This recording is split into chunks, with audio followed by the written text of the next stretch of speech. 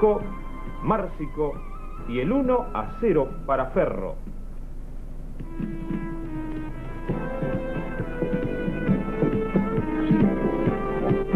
Del Ménico que no puede